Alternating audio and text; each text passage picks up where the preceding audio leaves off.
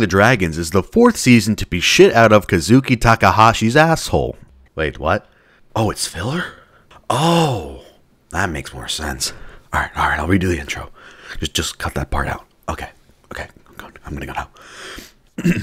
Waking the Dragons is the fourth season of Yu Gi Oh! to be shit out of 4Kids' executive asshole. I didn't think they could get any dumber with this show, but somehow they managed to. Who could have predicted a season where the pivotal characters are Rex Raptor and Weevil Underwood when they join a cult led by a heterochromic twink from Atlantis would have turned into a cluster fucking a total mess? I'm just gonna state now that I haven't seen this season since it aired back in I think 2005, so I didn't remember jack shit going into this. But everyone around me was telling me, oh man, this season is the worst season ever. It's so dumb and ridiculous. You're going to have a field day. And I have to say, I was a little let down at the beginning. For about the first half, at least, it was nothing really new. It was as dumb as the show has already set itself as, so I wasn't really shocked. But after the 50% mark, the show just falls into complete nonsense and you just make shit up as it goes along. And it's, it's a fucking mess, and I love it. I actually kind of like this season. I guess this is the part where I talk about all the things that I liked about the show because for the rest of the video, I'm going to be complaining about it. I'm a huge sucker for anything that has a group of dragons as a pivotal plot point for the show. That's why I really like Arc 5, even though that show is a huge fucking mess. That's way worse than this. Don't worry about Arc 5. We'll eventually get to Arc 5. But yeah, I did think the idea of the dragons fusing with things was really cool, even if it did lead to a bunch of plot conveniences and saving the main characters because of plot armor and a lot of dumb shit later on. Neat concept, poor execution. Moving on. Okay, and now I'm looking at my script and I thought I had more to talk about of things that I like, but then I realized it's blank. So yeah,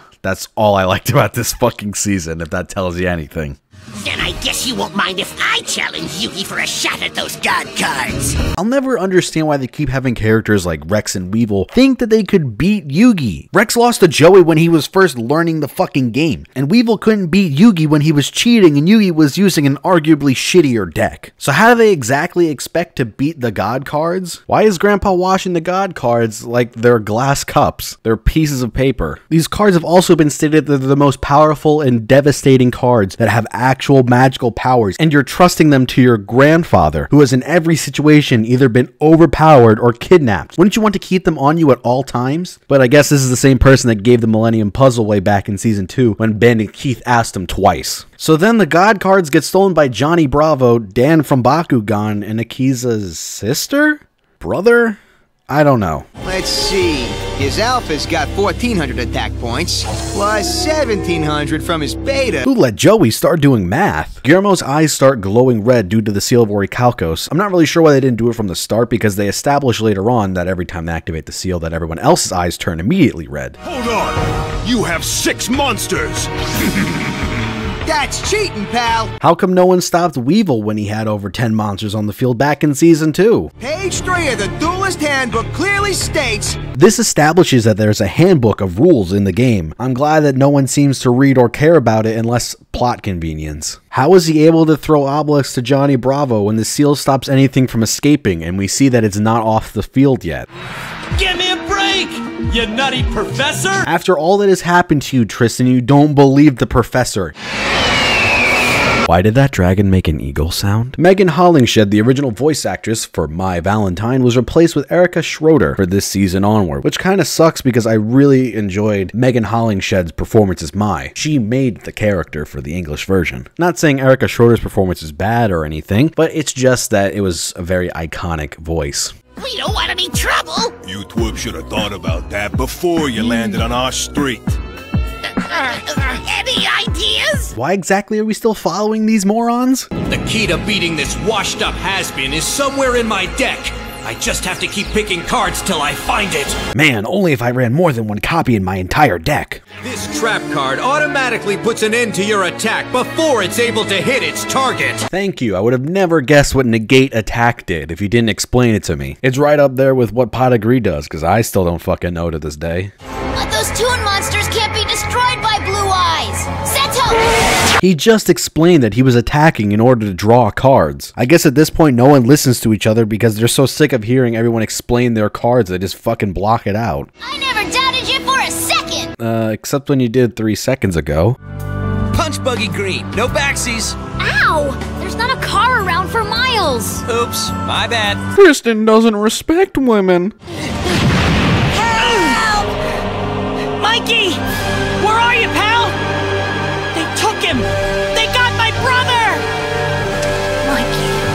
Oh no, they captured Mikey. Oh man, the first villain that doesn't have a stupid contrived motive. Maybe this show isn't as hopeless as I thought it was. They sometimes forget to have the seal of Orichalcos on Alistair's forehead throughout this duel. Card of Demise! This lets me draw three cards! So Card of Demise in this season only lets you draw three cards like it does in real life instead of the five like it did last season. Watch out, those are some serious paper cuts.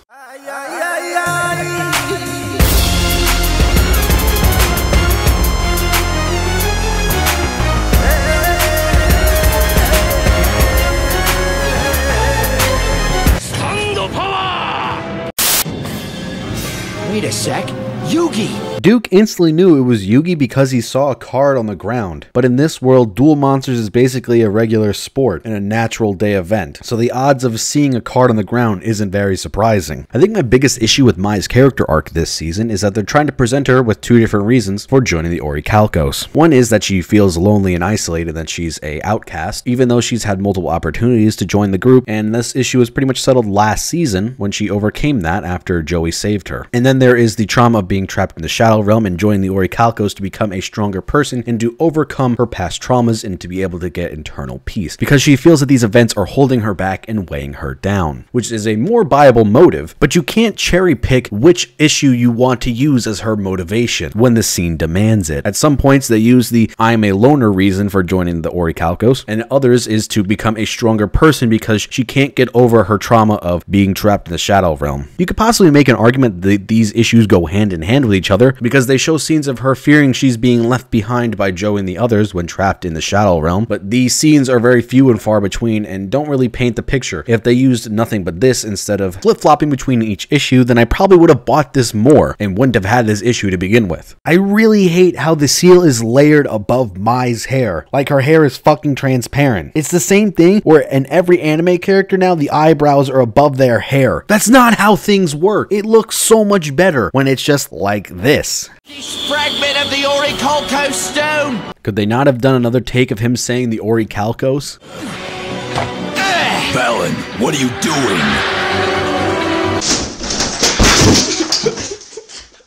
I feel like this episode was made by two separate teams. Half the time the characters look like they're good and drawn on model, and then the other half they look like they're melting. That's a real nice overlay of the map you got there. Did you take that off Google Earth? Uh, that's not how gravity works. Why is he floating upwards while they're going down? Shocking to no one is that 4Kids changed Raphael's backstory. In this version, his family survives and forgets about him, but in the original version, they actually die and his relatives take all the inheritance and abandon him, leaving him a very bitter person. This really raises the question of what are Duel Monster cards made of? You are able to rip them, like Kaiba did in the beginning of the show when he ripped the fourth Blue Eyes in existence, but they don't become ruined when they fall into water. They're clearly bendable, like when everyone draws their cards, but they stick onto the duel disk, kind of like magnets. After spending three long years on that island, I finally got my answer.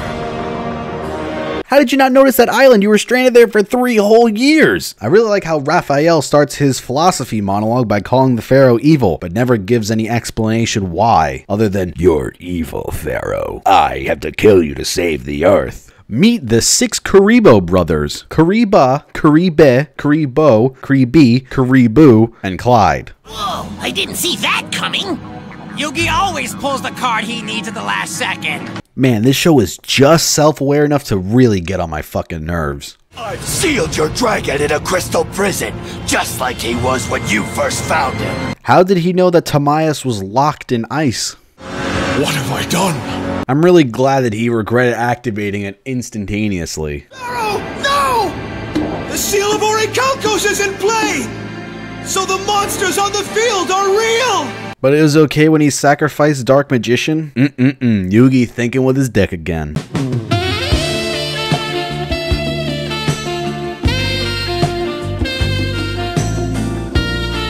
I've gotta get in there! Where's Catapult Turtle on his duel disk? You can see the monster in frame. Raphael's whole philosophy about everyone being evil and claiming the Pharaoh is too is nothing more than a self fulfilling prophecy. He puts the Pharaoh into a situation where he has no other choice than to activate the Seal of Orichalcos. Also, the seal has been stated to be a corrupting, evil, dark magic that steals people's souls. Man, you sure showed the Pharaoh when he became controlled by the seal. Next victims are your Big Shield Gardna, Gazelle, and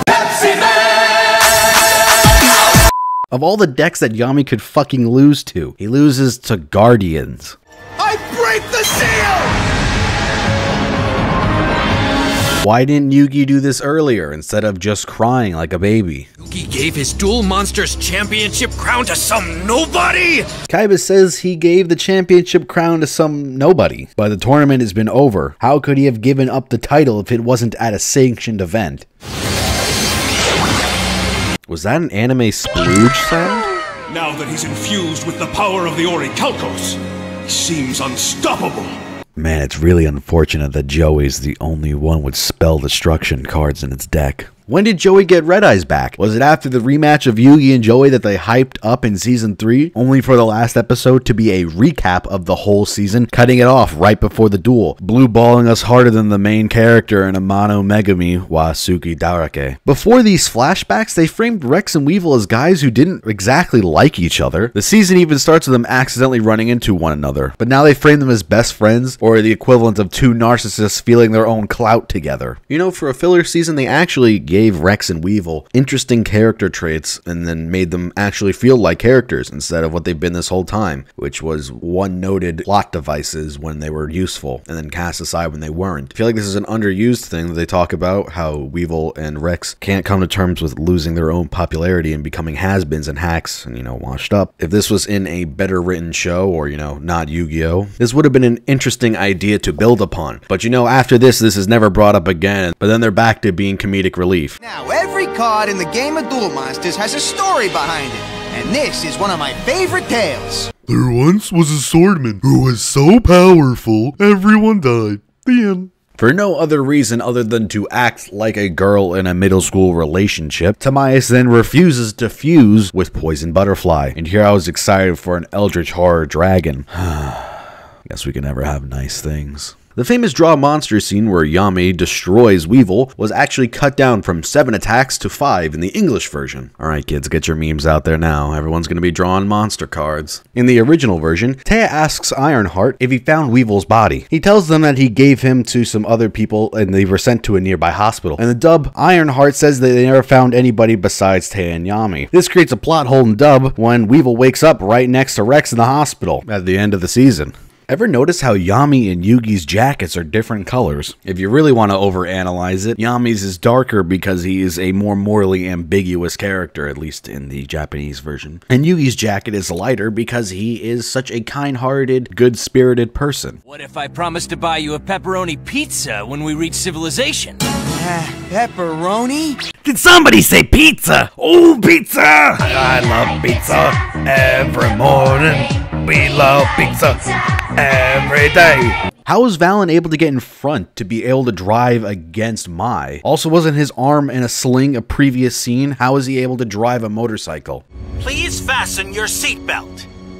Just to be safe.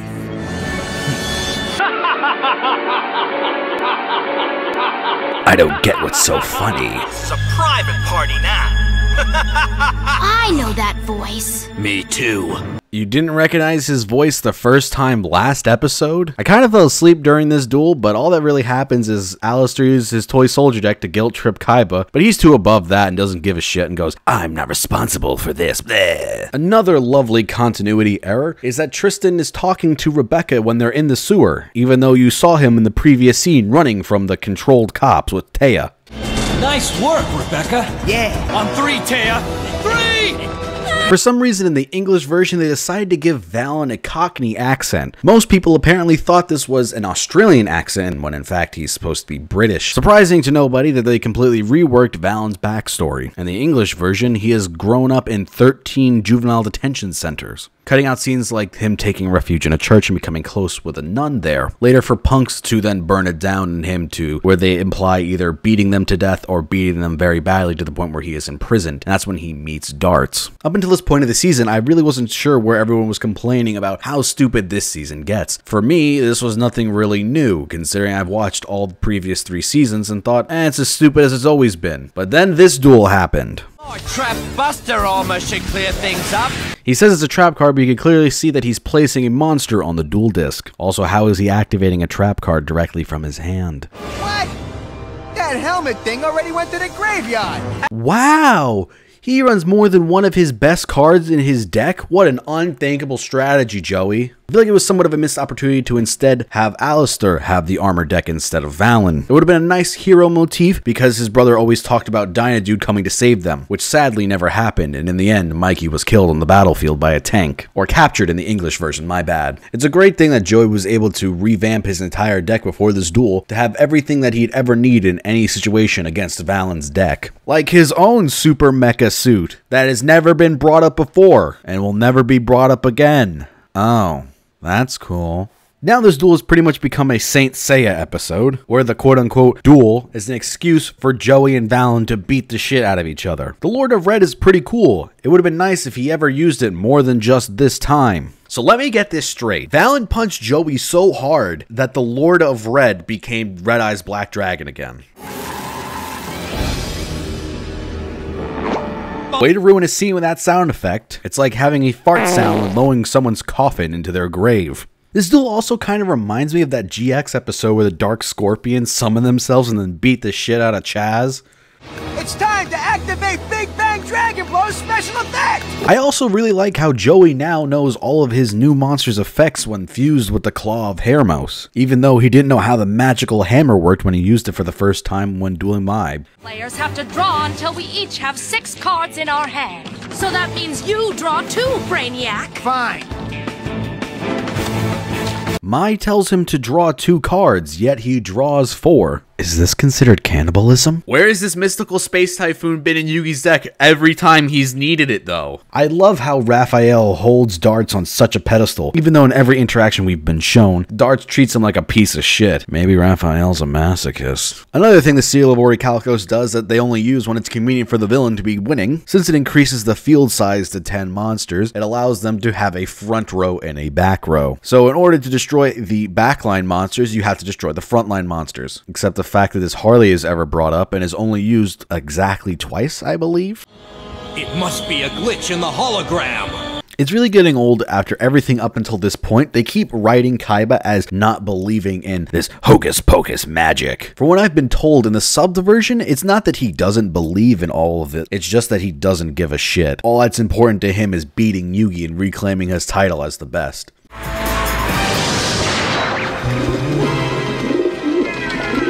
What? He turned her into a fucking pigeon! Holy shit, we're fully off the fucking rails now. Next, you're gonna tell me Tay is a useful character. ah, that'll never fucking happen. Hello? Who's there? Who else would fucking be here? We have now reached the duel with Dartz, and we have hit new heights of dumb. So let's list off everything that the Seal of Orichalcos can do now for Dartz, because apparently it has a million fucking effects that no one else knows, because only Dartz has this special Seal of Orichalcos Deuteros. Well, every turn I get 3,000 life points, and I get to summon 20 monsters, and I can do 10 backflips, and shoot lasers It also from tells my you stop making fun of me when you.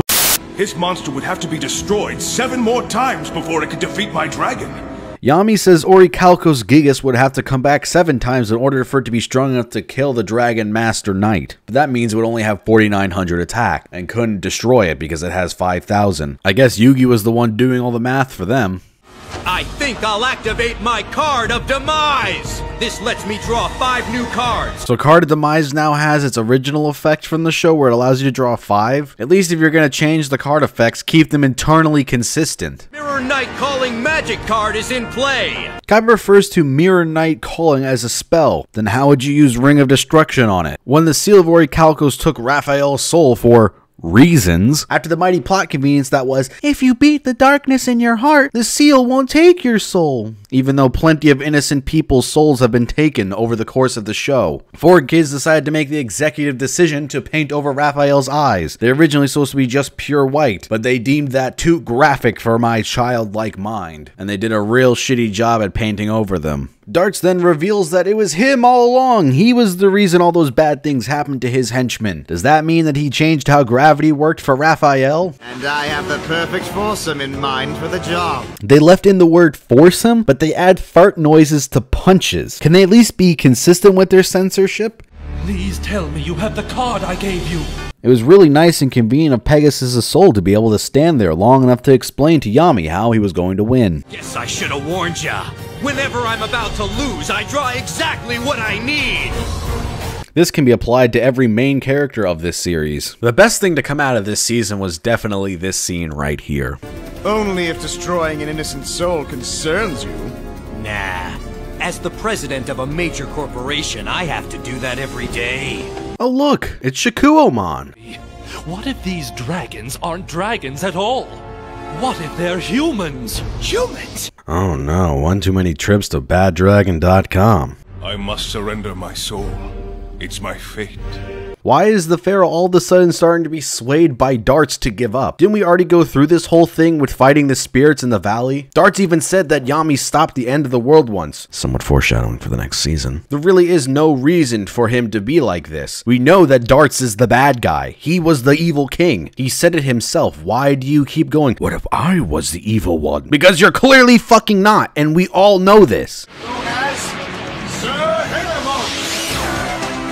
Did Atlantis have Brooklyn accents too? Why does the knight Critias have Joey's color hair and Hermos have Kaiba's? Wouldn't it make sense to have it inversed? Because they look like the characters that are using them. It's not like they're trying to hide it. It's very blatant that Timaeus looks like Yugi, Hermos looks like Joey, and Critias looks like Kaiba. So why swap the hair colors? Writing 101. You shouldn't build up your main villain's boss monster have infinite power. How do you expect your heroes to beat it without some stupid ass poles that makes everyone's eyes roll? Kind of like when he makes his monsters attack the power of infinity plus one. It's over 6,000 miles. I guess when they said the tidal wave was 6,000 miles in diameter, they didn't realize that the Earth is only 7,900 miles. So the wave would be almost the size of the entire planet. I think they have more to worry about than just the East Coast. Now we've hit the point where they're going to do an exposition dump about what the fuck is going on. So let me get this straight. Magical space rocks have fallen to the Earth, which allowed Atlantis to become super advanced at technology. A heterochromic twink becomes evil, and then his wife gets turned into a furry. This leads to the destruction of Atlantis, and somehow ancient Egypt as well. Three knights that don't look like Joey, Yugi, and Kaiba are turned into dragons in an attempt to stop them from stopping the twink. But all this really does is allow them to do magic bullshit and fuse with other monsters. So good job with that one. You really did it there. The magic space rocks cause our world in a parallel dimension, that's the Duel Monsters world, to merge. So the reincarnation of the Pharaoh, who somehow reincarnated even though his soul is still on Earth, trapped in the puzzle, must stop the twink in a card game made by a one-eyed gay man who wants to diddle a teen CEO's brother 10,000 years later. All the while, a giant tidal wave is about to hit the East Coast. This tidal wave is 6,000 miles in diameter. So you're telling me it's almost the size of the Earth, and they're only worried about it hitting the East Coast and not engulfing everything. All hope seems lost when the giant pants python is summoned and its power is infinity. But don't worry, the pharaoh calls on his friends and the use of the power of friendship decides, well, my knight has the power of infinity plus one, and defeats the pants python. So Yugi fully defeats Dartz by yelling at the sky that he has friends, and magically the tidal wave goes away. Then they spend the rest of the episode flashbacking the whole season again. I can't believe they did this a second time in a fucking row. Could they not come up with a good final episode? It's bad enough they blue balled us last time with the Joey vs. Yugi rematch.